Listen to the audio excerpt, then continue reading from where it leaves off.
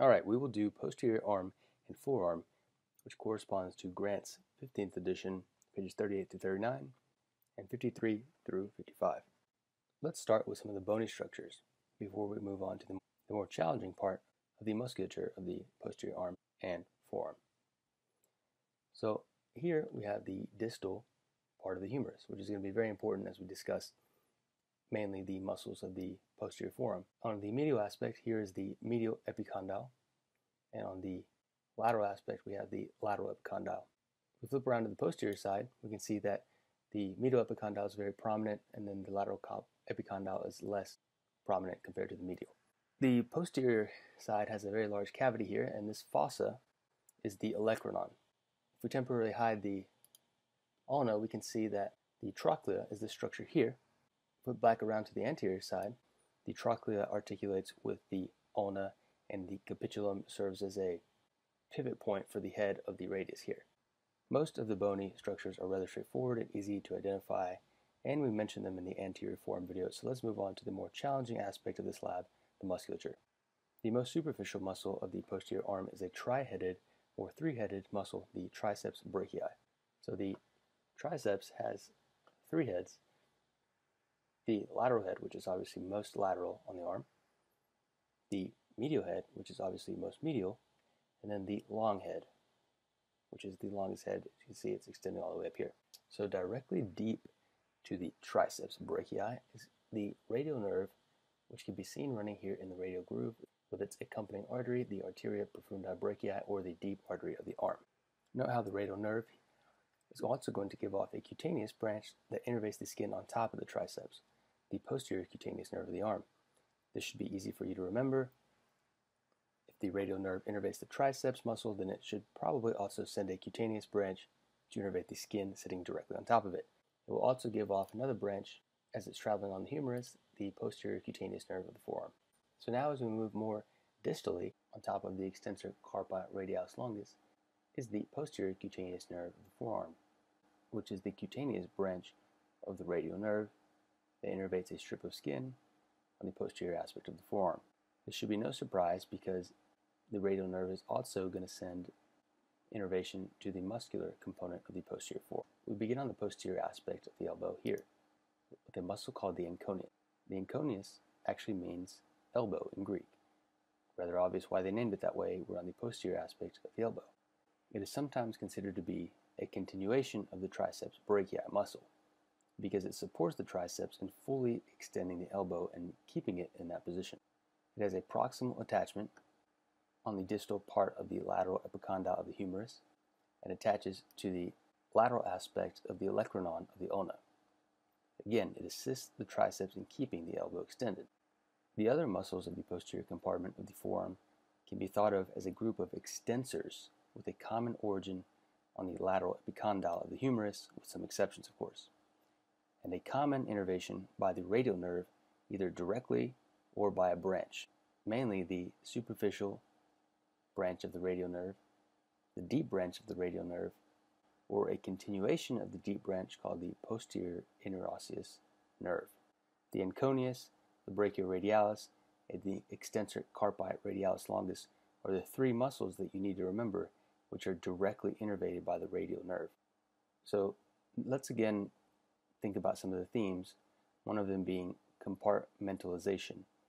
All of the muscles of the anterior compartment of the forearm are flexors and originate on the medial epicondyle. All of the muscles of the posterior compartment of the forearm are extensors and originate on some part of the lateral epicondyle of the humerus. Of course, with some exceptions, such as the deep muscle group of the posterior forearm. So the muscles of the posterior forearm are separated into a superficial, intermediate, and deep group.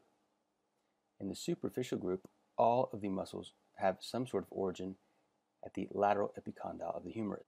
So we'll go from the ulnar aspect of the arm to the more radial aspect of the arm, starting with the muscle here in blue, the brachioradialis. This is a very unique muscle because it can act as a flexor, a supinator, and pronator depending on the position of the forearm. The terminal sensory branch of the musculocutaneous nerve is actually running directly on top of the brachioradialis. Here's the lateral cutaneous nerve of the forearm that runs directly on the belly of the muscle.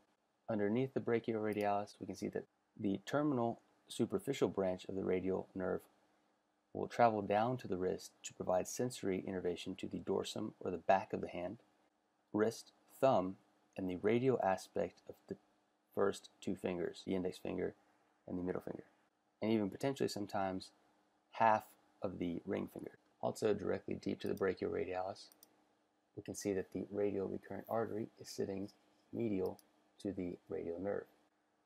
Now, directly next to the brachioradialis is the extensor carpi radialis longus muscle.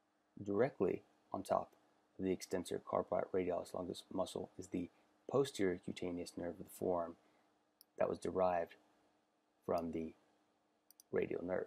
Here you can see it is coursing on top of it before it transitions and then it starts running on top of the muscle that accompanies the longus, which is the brevis. Remember that if there is a longus muscle, then you better be looking for a brevis muscle somewhere nearby. Unlike the extensor carpi radialis longus muscle, the brevis is not innervated directly by the radial nerve, but, but rather is the posterior interosseous nerve. Now, if we continue to move in the same direction, the next muscle is the extensor digitorum. As we follow the extensor digitorum down the posterior aspect of the forearm, we can see that it passes under the extensor retinaculum. The extensor digitorum is capable of extending all of the joints that it crosses over. That it means that it can extend the metacarpal phalangeal joints, the distal interphalangeal joints, and the proximal interphalangeal joints. Note how there is not an extensor digitorum superficialis or extensor digitorum profundus like we see on the flexor aspect of the arm. As we continue to move more in the same direction, the next muscle is the extensor digiti minimi, which extends the most minimal digit, or the small digit, the pinky finger, hence the name extensor digiti minimi. The extensor digitorum and the digiti minimi compose the intermediate muscle group. Next up is the last muscle of the superficial group, the extensor carpi ulnaris muscle. It is really close to the, its antagonist of the anterior flexor compartment, the flexor carpi ulnaris. Here is the flexor carpi ulnaris of the anterior compartment of the forearm. Now quickly, let's notice something that's important. Notice how the extensor carpi radialis brevis, not the longus here, but just the brevis, the extensor digitorum, the extensor digiti minimi, and the extensor carpi ulnaris all have a common tendinous origin here at the lateral epicondyle. This is the common extensor tendon. This is also a great way to remember that the same nerve, the posterior interosseous nerve, innervates all of these muscles. They share a common origin at the common extensor tendon. They're all going to be innervated by the same nerve, which is the posterior interosseous nerve. The deep muscles are called the deep muscles because they're deep in the and they're also innervated by the deep branch of the radial nerve. Now this is a very high yield image here. Travels through the supinator muscle. The supinator muscle is telling you exactly what it does. It supinates the forearm. And that makes a lot of sense because its action is to oppose the pronator teres. Moving from the radial side to the ulnar side, the first one that we see is the abductor pollicis longus. If you follow the tendon of the abductor pollicis longus, you can see it is in a different little compartment of a retinaculum here. It is accompanied by the extensor pollicis brevis muscle. So do not be fooled here. The abductor pollicis longus is not accompanied by the abductor pollicis brevis. The abductor pollicis brevis is in the hand. The abductor pollicis longus is accompanied by the extensor pollicis brevis in a separate retinacular compartment here, as they both travel to the thenar area of the hand. As we continue in the same direction, here is the extensor pollicis longus muscle. Directly next to it is the extensor indicis muscle. They both pass under the flexor retinaculum to insert onto phalanges within the hand. They both pass under the extensor retinaculum with the extensor pollicis longus inserting into the base of the distal phalanx of the thumb. Remember that the thumb only has a distal and proximal, no intermediate phalanx. Now, we have discussed all the muscles. There's one more high yield thing that needs to be reviewed, which is the anatomical snuff box. The anatomical snuff box is a deepened triangular area where people actually used to put snuff, which is some sort of inhaled tobacco. Don't know anything about it. Sounds kind of strange, but the boundaries of the space are defined by the extensor pollicis brevis muscle, the extensor pollicis longus muscle, the distal part of the radius, and the extensor carpi radialis longus muscle. So don't think about this too hard. Extensor pollicis brevis, the longus, and then include extensor carpi radialis longus. This is a very high yield space because it's also one of the things that most doctors get sued over that deal with musculoskeletal injuries. And that is due to injury to this bone, the scaphoid. So when someone falls on an outstretched hand, for example, a skateboarder falls on the pavement but braces their fall, it can actually be damage to the scaphoid and its weak arterial supply, leading to avascular necrosis, which is not readily visible on a radiograph immediately. You have to have these patients follow in about two weeks and you put them in a cast temporarily. You have to palpate for tenderness in the anatomical snuff box because it'll help determine your clinical probability of the person have actually suffered a scaphoid fracture. So if you imagine if you press here in the snuff box and they're like, ouch doc, I wish you would stop doing that, you should have a high clinical suspicion for a scaphoid fracture.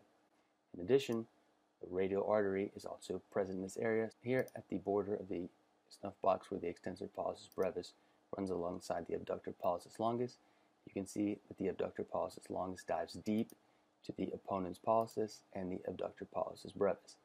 So you have the abductor pollicis longus is diving to join its brother, or the brevis, that's actually found as one of the thenar muscles.